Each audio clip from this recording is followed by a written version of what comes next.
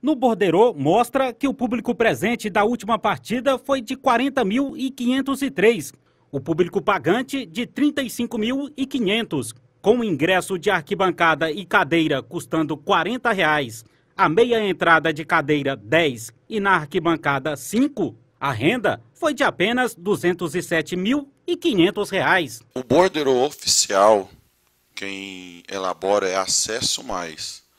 A empresa Acesso Mais é que é contratada e tem vínculo com Vila Nova. A empresa Trip, ela é, uma, ela é contratada da administração do Serra Dourada. É, é aquele borderô que passou para as redes sociais e que informou a Trip, para nós e para a federação, é, não tem nenhum tipo de validade. É um controle que eles fazem interno. Então, esse tumulto só foi criado porque saiu esse borderô da Trip. O oficial da federação, é, nós vendemos 40 mil ingressos para a Rei Petro, nossa parceira, e Acesso Mais já informou que entrou 25.505 ou 503. Eu não estou com os números exatos aqui.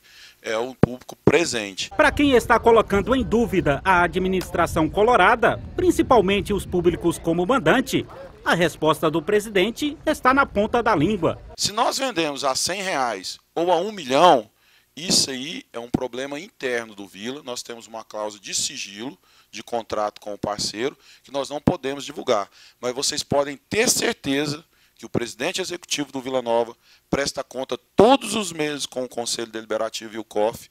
Essas contas são apreciadas e aprovadas. Não tem nada é, é, é, tudo lúcido, não tem nada que não é legítimo. O que importa para o Vila Nova, eu volto a dizer, não está com salário atrasado, não está com bicho atrasado, não está com premiação atrasada, você não está perdendo jogador por FGTS. Torcedor, eu sou torcedor, ele quer saber disso. E é um time campeão. É um time vitorioso. Você pode ter certeza. Se tivesse algum bandido aqui, já estava preso. Através das redes sociais, Culto Veronês afirmou que não será o presidente do Vila Nova em 2016 em entrevista, ele confirmou a informação. Eu desafio alguém, qualquer um conselheiro, associado, torcedor, provar que eu ganho um centavo do Vila Nova aqui.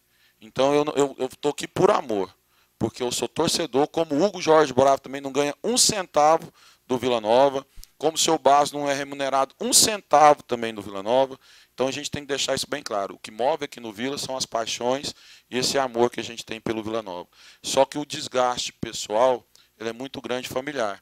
Então eu tenho conversado com a minha família e por enquanto eu tenho, vou manter essa posição de não continuar no Vila a partir de 1 de dezembro.